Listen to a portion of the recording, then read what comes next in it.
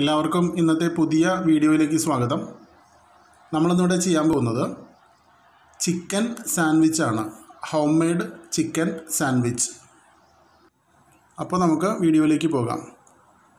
ഞാൻ ആദ്യമേ പറഞ്ഞതുപോലെ ചിക്കൻ സാൻഡ്വിച്ച് എന്ന് പറയുമ്പോൾ മെയിനായിട്ട് വേണ്ടത് ചിക്കന്റെ ഫ്ലഷാണ് ഇതിപ്പോൾ ഞാൻ വീട്ടിലെ ആവശ്യത്തിന് കറിക്ക് വേണ്ടി മേടിച്ച രണ്ട് കിലോ തൂക്കം വരുന്ന ചിക്കന്റെ മൂന്ന് പീസ് ബ്രസ്റ്റ് പീസ് എടുത്ത് കുക്കറിൽ ഒറ്റ വിസിലടിച്ച് ഉപ്പും മഞ്ഞപ്പൊടി ഇട്ട് ഒറ്റ വിസിലടിച്ച് പുഴുങ്ങിയെടുത്തത് ചെറിയ രീതിയിൽ കൈകൊണ്ട് തന്നെ പിച്ചി പിച്ചി വെച്ചിരിക്കുന്നതാണ്. കുറച്ച് കുരുമുളക് പൊടി ഇത് മയണൈസാണ് മയണൈസ് നമ്മളതിന് ഉണ്ടാക്കിയതാണ്. ഇതിന്റെ ലിങ്ക് ഞാൻ ഡിസ്ക്രിപ്ഷൻ ബോക്സിൽ ചേർത്തേക്കാം. ഇത് ചില്ലി ഫ്ലേക്സ് ആണ്. അതായത് ഒരു നാല് ഉണക്കമുളക് ഞാൻ മിക്സിയിൽ പൊടിച്ചെടുത്തതാണ്. ഒരു സവാള അതുപോലെ തന്നെ ഒരു ക്യാപ്സിക്കത്തിന്റെ പകുതി മൂന്ന് വെളുത്തുള്ളി ഒരു കഷ്ണം ഇഞ്ചി ഇത് രണ്ടും കൂടി അരച്ച് ചേർത്ത പേസ്റ്റ് ജിഞ്ചർ ഗാർലിക് പേസ്റ്റ് ഇത്രയും സംഭവമാണ് ഇതിനു വേണ്ടി എടുത്തിട്ടുള്ളത്. ഇപ്പോൾ ഞാനിവിടെ പറഞ്ഞു ക്യാപ്സിക്കം ഒരു ക്യാപ്സിക്കമാണ് എടുത്തിട്ടുള്ളത്. അതിന്റെ പകുതി മാത്രമാണ് നിലവിൽ അരിഞ്ഞു വെച്ചിരിക്കുന്നത്. ബാക്കി പകുതി നമുക്ക് ആവശ്യമുണ്ട്. അത് വീഡിയോ ലാസ്റ്റ് സമയത്ത് ഞാൻ പറഞ്ഞു തരാം. അപ്പോൾ ഇത്രയും സാധനങ്ങളാണ് നമുക്ക് ഈ ചിക്കൻ സാൻഡ്വിച്ച് ഉണ്ടാക്കാനായിട്ട് വേണ്ടത്. ആദ്യം ഒരു പാൻ അടുപ്പിൽ വെച്ച് ചെറിയ ഫ്ലെയിമിൽ കത്തിച്ചതിന് ശേഷം അതിലേക്ക് വെളിച്ചെണ്ണ ഒഴിച്ചു കൊടുക്കുക. ഞാൻ ഒരുമാതിരിപ്പെട്ട എല്ലാ ആവശ്യങ്ങൾക്കും വെളിച്ചെണ്ണ തന്നെയാണ് ഉപയോഗിക്കുന്നത്. വെളിച്ചെണ്ണ ഒഴിച്ചു കൊടുക്കുക. എണ്ണയ്ക്കൊക്കെ ഇരുന്നൂറ്റി അറുപത് രൂപയാണ് കിലോ വില. അതുകൊണ്ട് വളരെ കുറച്ച് ചേർത്താൽ മതി. എണ്ണ ഒഴിച്ചു കൊടുത്ത് അത് കുറച്ച് ചൂടായതിന് ശേഷം അതിലേക്ക് നമ്മൾ എടുത്തു വെച്ചിരിക്കുന്ന ചിക്കന്റെ ഫ്ലഷ് അതിലേക്ക് ചേർത്ത് കൊടുക്കുക. ചേർത്ത് കൊടുത്ത് പതുക്കെ ഒന്ന് ഇളക്കി കൊടുക്കണം. ചെറിയ ഒരു ഗോൾഡൻ ബ്രൗൺ നിറമാകുന്നത് വരെ അത് ഇളക്കി കൊടുത്തുകൊണ്ടിരിക്കണം. നിലവിൽ ഇത് വെന്ത ചിക്കനാണ്. അപ്പോൾ ഒരു ഏകദേശം ഒരു അഞ്ച് മിനിറ്റ് അഞ്ച് മിനിറ്റ് നമുക്ക് ഇതേപോലെ ഒന്ന് പാനിലിട്ട് ചെറിയ രീതിയിൽ ഫ്രൈ ആകുന്നവരെ എടുത്താൽ മതി. കുറച്ച് ഉപ്പ് നമുക്കിതിലേക്ക് ആഡ് ചെയ്ത് കൊടുക്കാം. കാരണം അവസാനം സവാളയും അതേപോലെ ക്യാപ്സിക്കവും ചേർക്കുമ്പോൾ ഉപ്പ് അതിലും കൂടി മിക്സിങ് ആയിരിക്കണം. ഞാൻ നേരത്തെ പറഞ്ഞു നമ്മൾ ആദ്യം ഇത് ബോയിൽ ചെയ്തെടുത്തപ്പോൾ അതിൽ ഉപ്പ് ചേർത്തതാണ്. കൂടാതെ നമ്മളെടുത്ത് വെച്ചിരിക്കുന്ന ജിഞ്ചർ ഗാർലിക് പേസ്റ്റ് ഇതിലേക്ക് ആഡ് ചെയ്ത് കൊടുക്കുക. കംപ്ലീറ്റ് ഒന്ന് മിക്സ് ചെയ്ത് കൊടുക്കണം.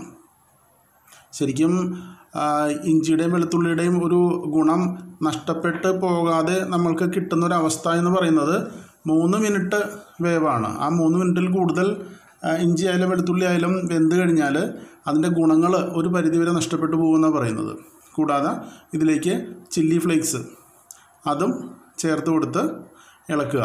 ഞാനിതിൽ ഏകദേശം നിങ്ങൾ കണ്ടല്ലോ ഒരു സ്പൂണ് അത്രേ ചേർത്തിട്ടുള്ളൂ. എരിവ് കൂടുതൽ വേണമെന്നുള്ളവർക്ക് അത് ചേർത്ത് കൊടുക്കാം. കൂടാതെ അര ടീസ്പൂണ് ചെറിയ ടീസ്പൂണിൽ അര ടീസ്പൂണ് കുരുമുളക് പൊടി ചേർത്ത് കൊടുക്കുക.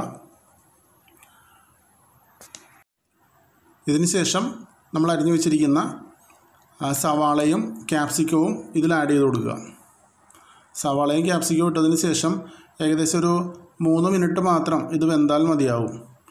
ഏതൊരു സാൻഡ്വിച്ചിന്റെയും പ്രത്യേകത അതിന് ഒരു ഫ്രഷ്നെസ് നമ്മൾക്ക് കിട്ടണമെന്നുണ്ടെങ്കിൽ വെജിറ്റബിൾസ് ചെറിയ രീതിയിൽ ഇപ്പോൾ ഫ്രൈഡ് റൈസിലൊക്കെ ഉള്ള പോലെ പച്ച കടിക്കണം. എന്നാലേ അതിനൊരു ഫ്രഷ്നെസ് നമുക്ക് ഫീൽ ചെയ്യുള്ളൂ. അപ്പോൾ അതുകൊണ്ട് മൂന്ന് മിനിറ്റിൽ കൂടുതൽ ഇത് വേവിക്കണമെന്നില്ല. അപ്പോൾ ഏകദേശം ഇതായി കഴിഞ്ഞു. ഇനി നമുക്ക് ഫ്ലെയിം ഓഫ് ചെയ്യാം. ഓഫ് ചെയ്തതിന് ശേഷം ഇതിലേക്ക് നമ്മൾ എടുത്തു വെച്ചിരിക്കുന്ന മയണൈസ് ആഡ് ചെയ്ത് കൊടുക്കുക. അപ്പോൾ ആദ്യം മൂന്ന് സ്പൂണ് ഇട്ട് ഒന്ന് ഇളക്കിയതിന് ശേഷം ബാലൻസ് ഉള്ള രണ്ട് സ്പൂണും കൂടി മയണൈസ് ഇതിലേക്ക് ആഡ് ചെയ്ത് കൊടുക്കണം. എന്നാലേ ഇത് കംപ്ലീറ്റ് മിക്സിങ് ആവുള്ളൂ. അതിനുശേഷം അതിന് ശേഷം നല്ലതുപോലെ മിക്സ് ചെയ്ത് കൊടുത്ത്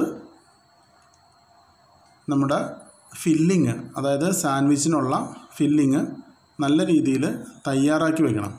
ഞാൻ സൂചിപ്പിച്ചു മയണൈസ് ഇടുന്നതിന് മുൻപ് തന്നെ ഫ്ലെയിം ഓഫ് ചെയ്ത് വെക്കണം. കണ്ടല്ലോ? നമ്മുടെ ചിക്കൻ സാൻഡ്വിച്ചിന്റെ ഫില്ലിങ് തയ്യാറായി കഴിഞ്ഞു. ഇനി നമുക്കിത് എങ്ങനെയാണ് ഫില്ല് ചെയ്യുന്നത് എന്ന് നോക്കാം.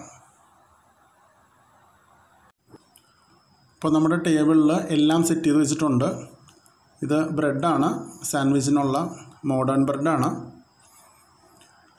കൂടാതെ ഞാൻ ആദ്യം സ്റ്റാർട്ടിങ്ങിൽ പറഞ്ഞു ക്യാപ്സിക്കത്തിന്റെ ബാലൻസുള്ള പകുതി ഭാഗമാണ് ഇത് മയണൈസ്. പിന്നെ നമ്മൾ തയ്യാറാക്കിയ ഫില്ലിങ്.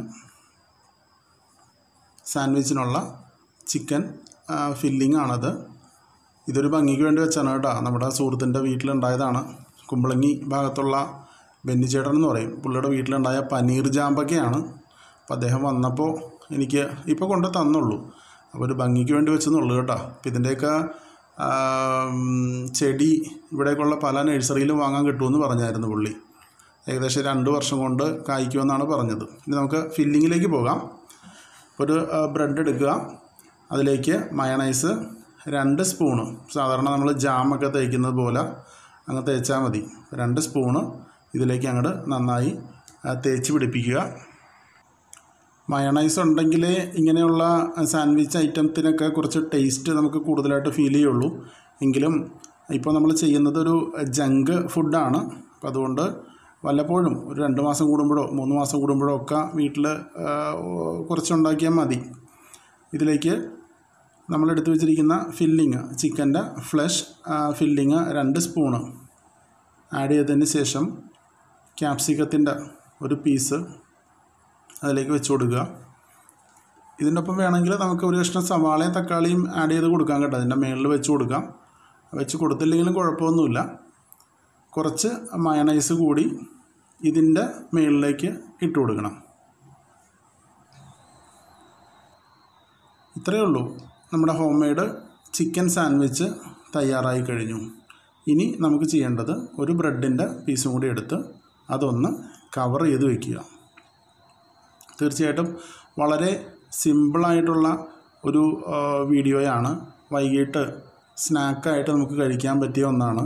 അതേപോലെ നമ്മൾ ഉണ്ടാക്കി വെച്ചിരിക്കുന്ന ഈ ഫില്ലിങ് ചപ്പാത്തിയുടെ ഒപ്പമോ അതല്ലെങ്കിൽ ഒരു ബണ്ണ് എടുത്തത് കീറിയിട്ട് അതിന്റെ അകത്ത് വെച്ചുകൊണ്ടൊക്കെ നമുക്ക് കഴിക്കാം. ഇപ്പോൾ ബ്രെഡ് തന്നെ ഇതിന് വേണമെന്നില്ല. അപ്പോൾ ഏത് രീതിയിൽ വേണമെങ്കിലും കുട്ടികൾക്ക് മുതിർന്നവർക്കും കഴിക്കാൻ പറ്റിയ ഒരു ടേസ്റ്റായിട്ടുള്ള വളരെ സിമ്പിളായിട്ടുള്ള ഒരു വിഭവമാണ്. അപ്പോൾ നിങ്ങൾക്ക് ഈ വീഡിയോ ഇഷ്ടപ്പെട്ടെന്ന് കരുതുന്നു. പുതിയ വീഡിയോയുമായി നമുക്ക് അടുത്ത പ്രാവശ്യം കാണാം. Okay bye